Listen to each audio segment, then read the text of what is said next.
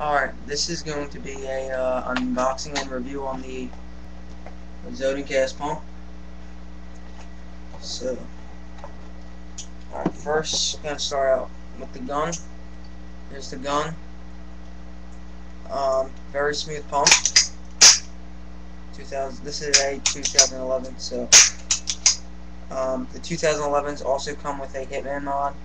So instead of pumping it like this, you can also just an easier way of pumping. Um, safety twist twist lock um, feed neck dovetail tank mount um, double trigger. Um, easy disassembly you just pull this bolt here. And you can easily get a squeegee through it to clean it out um, what else? Comes with a uh, barrel saw, 12 inch barrel. I did shoot this gun today, it's very accurate. Um, what else? There's the manual. Very nice for all your assembly, disassembly. Um, cleaning the marker, stuff like that.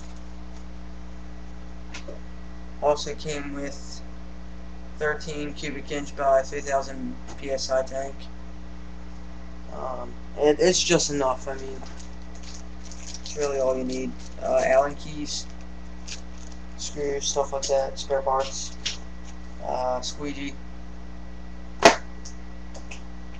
Uh, 10, 10 round tubes and also a pocket hopper. Holds probably about 50 to 75 paintballs. Uh, it's just enough.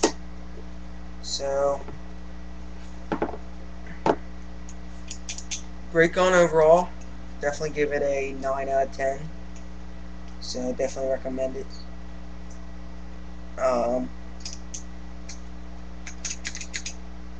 that's it. This is the Azodin Kaos pump. Thanks for watching.